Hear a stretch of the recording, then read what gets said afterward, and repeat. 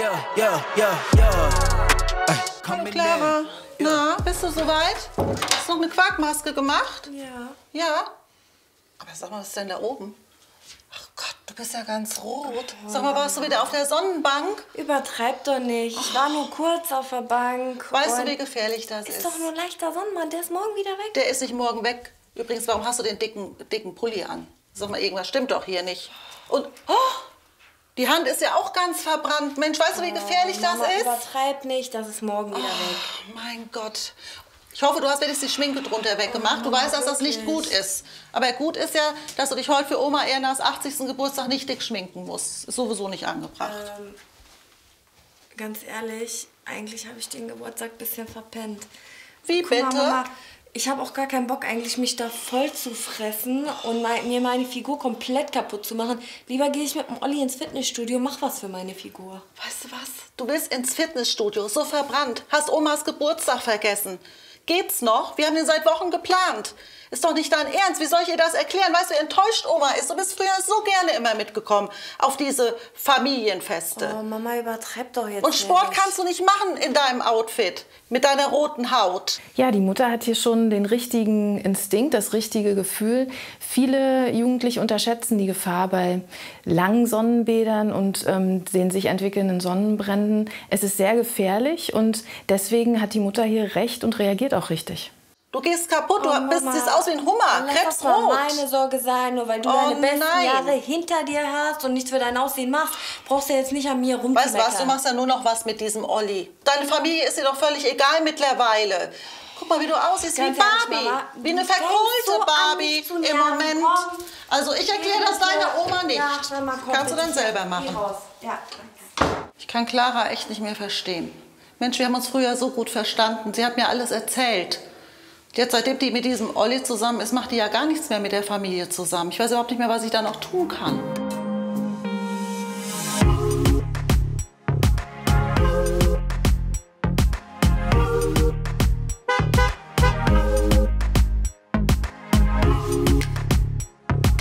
Mein Gott, wo bleibst du denn? Wie siehst du überhaupt aus? Willst du, soll ich dich so mit ins Studio nehmen oder was? Ja, ich habe mir doch was Du siehst dabei aus wie eine überdacht. Nonne. Ich wollte doch heute viel Kalorien verbrennen, damit ich was für meine Figur Kalorien tue. verbrennen. Vielleicht können wir ein bisschen Kalorien verbrennen. Vor dem Training auf der Rückbank, hä? Vielleicht.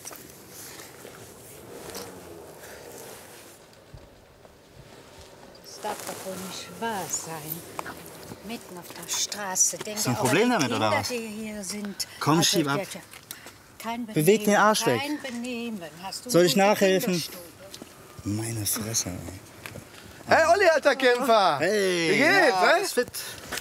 Na, irgendwo läuft sie immer spaßig da, ne? Oh, Papa, sei doch nicht schon wieder so peinlich. Das ist doch nicht peinlich.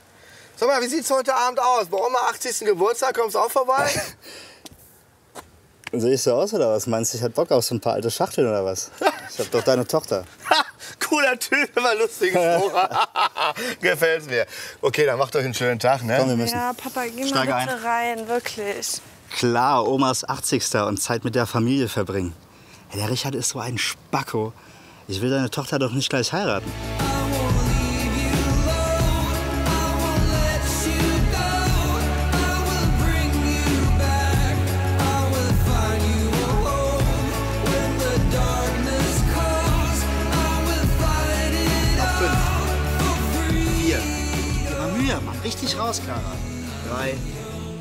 Und drei. Sauber machen.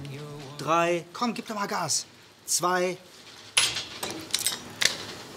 Olli, ich kann nicht mehr. Mein Ist Kreislauf, mir ist so warm und ich habe heute so wenig gegessen. Mir geht's echt nicht gut. Können wir das Training für heute nicht beenden? Ich habe dir schon ein paar Mal gesagt, du sollst vor dem Training essen. Ist das dein Ernst jetzt? Willst du jetzt mittendrin einfach aufhören? Mir geht's halt echt nicht gut. Mein Gott, ey, dir ist schon klar, dass du meine Freundin bist. Ja. Dass das mein Studio ist. Ja? Weißt du, wie das aussieht, wenn ich so eine kleine, dicke Freundin habe? Das ist nicht okay. Gib dir mal ein bisschen Mühe. Das heißt, ich hab echt Hi, na, alles klar bei dir? Ja, hey. Ja, wie geht's dir? Super. Alles Und gut? dir? Auch. Hast du vielleicht Lust, mit mir was zu trinken? So, ganz alleine, ein bisschen privat. Ich bin noch mitten im Training, aber Andermal vielleicht. Oder vielleicht ähm, Personal Training oder so die Tage? Gerne. Ja? Klar. Machen wir einen Termin aus. Mhm, okay. Schön. Äh, kannst du mir mal erklären, wer die Tussi gerade war? Kundin? Wie Kundin? Guck doch mal, wie ihr geflirtet habt. Hast du so noch alles? Ich habe ganz normal mit der geredet. Das ist eine Kundin. Was soll ich denn machen? Kunde ist König bei mir, weißt du doch. Olli verleugnet hier Clara, seine Freundin, tut so, als wäre sie gar nicht da. Und das lässt tief blicken auf die Partnerschaft, die die beiden haben. Und dass er vielleicht nicht so echte Gefühle für sie hat, wie er tut. Auf, komm. Jetzt noch ein bisschen. Richtig, komm. Jawohl. Ich verstehe gar nicht, was diese Lydia von meinem Olli will. Und warum hat er mich eigentlich nicht als seine Freundin vorgestellt? Ach nee. Wen haben wir denn da? Was siehst du denn aus? Misch dich doch nicht in meine Angelegenheiten ein. Was soll das? Ganz ehrlich, ich glaube, ich sollte mal dem Olli Bescheid geben. Nicht, dass du dem hier noch Pest in den Laden holst. Übertreib mal nicht. Misch Olli nicht damit ein. Olli, was, hast du ein Problem mit dem oder was? Olli und ich sind zusammen und wir sind glücklich. Du mit dem zusammen, Mädchen, Ja. träum weiter. Warum sollte der Olli dich nehmen, wenn er mich haben kann, okay? Guck dich mal an. Aber warte mal, ich kenne dich doch. Du bist doch diese fette Sau, die die ganze Zeit den Olli angehimmelt hat den ganzen Tag. Du trainierst doch hier schon länger. Übertreib doch nicht. Ja, was übertreibt nicht? Mädchen, guck mal, ganz ehrlich. Der Olli, der steht eh nur auf große Brüste, okay? Ähm, hallo, ich habe ja wohl größere Brüste als du. Ja, das mag wohl sein, aber dafür habe ich andere Qualitäten. Ja, okay. klar, auf Und jeden Fall. Guck mal, ganz ehrlich, du wirst am Ende sehen, wer von uns beiden Olli klar macht, okay? Und jetzt reden mit meiner Hand. Na und? Da war ich halt mal ein bisschen pummelig. Aber ich habe ja auch was dagegen getan. Und der Olli liebt mich, da bin ich mir ganz sicher. Jetzt, Was ist das denn? Ey, was denn mit dir? Soll ich dich heimfahren oder was? Ja, ich dachte, wir machen uns einen schönen Nachmittag. Du musst wissen, äh, Fahrservice gehört zu meinen Diensten als Personal Trainer dazu. Also den kannst du gerne in Anspruch nehmen. Ja klar, warum nicht? Schön. Fahrservice? Willst du mich gerade komplett verarschen? Wieso denn verarschen? Außerdem, wie lange warte ich eigentlich schon auf dich? Hast du mal auf die Uhr geguckt? Meinst du, ich hätte nichts Besseres zu tun oder was? Warte mal, sie hat, glaube ich, ein kleines ähm, Problem. Ein Problem. Können wir jetzt vielleicht einfach mal bitte los? Ich habe gar keinen Bock, weiter mit dieser Tussi herumzustehen. Hey, hey, hey, was, was? Pass doch mal ein bisschen auf. Das ist eine Kundin von mir. Nimm dich mal ein bisschen zusammen. Guck mal, wie du mit den Leuten redest. Ja, tut Mein mir Gott, ey. Ja. Pass Naja. auf. Ich rufe dich an. Wir trainieren zusammen, wie Ja. abgemacht. Ich sehe, ihr habt ein größeres Problemchen. Ich warte auf deinen Anruf, okay? Ich melde mich. Wir müssen jetzt mal reden. Das ist eine Kundin. Nimm dich mal ein bisschen zurück. Ich bin Geschäftsmann. Was denkst du denn, wenn ich mit allen Kunden so reden würde? Oder du, besser gesagt. Habe ich keinen Bock drauf. Deine Aufgabe ist es, schön auszusehen und den Mund zu halten. Und gut ist. Ganz klar, Olli reduziert Clara nur auf ihr Äußeres und das sollte sie sich nicht gefallen lassen. In einer Partnerschaft ist es wichtig, dass man sich gegenseitig respektiert und wertschätzt und solche Dinge dürfen da einfach nicht passieren. Bist du vom Dummheitsbaum gefallen oder was ist los mit dir? Es tut mir leid.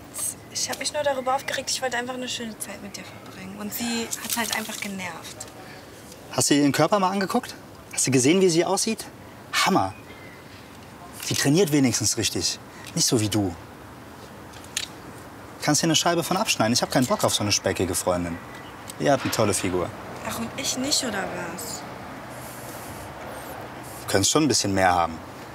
Ich habe doch viel mehr als sie. Ja, aber sie zeigt's wenigstens richtig. Außerdem hat sie ganz andere äh, Attribute. Egal, komm, lass uns.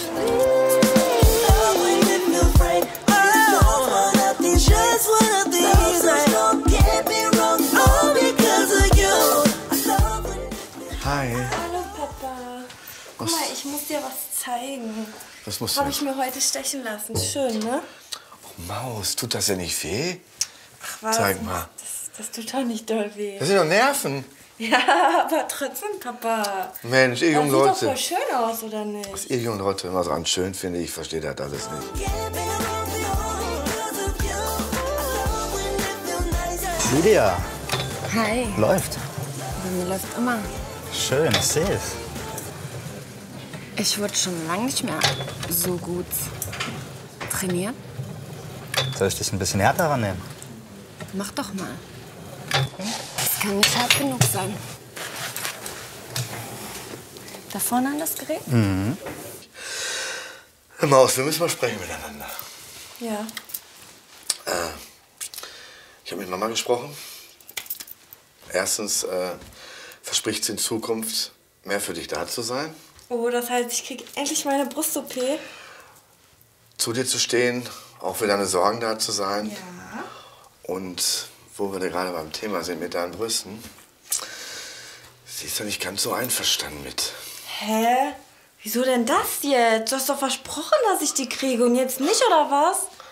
Clara, ich habe dir nicht versprochen, dass du die Brüste bekommst. Ich habe versprochen, dass ich mit Mama spreche. Oh, Papa, aber das kannst du mir jetzt nicht antun. Ich habe das dem Olli doch schon gesagt, dass ich jetzt eine Brust-OP bekomme. Wie sieht das denn jetzt aus, wenn auf einmal doch nicht? Clara ist mittlerweile so fixiert darauf, ihrem Freund zu gefallen, dass das fast ein Fass ohne Boden werden kann. Erst lässt sie sich die Brüste vergrößern, dann vielleicht die Nase verkleinern und wer weiß, was sonst noch alles. Und hier muss der Vater spätestens reagieren und seine Tochter ernsthaft um ein Gespräch bitten. Schatz, bei solchen Summen hat die Mama nun mal das Mitspracherecht.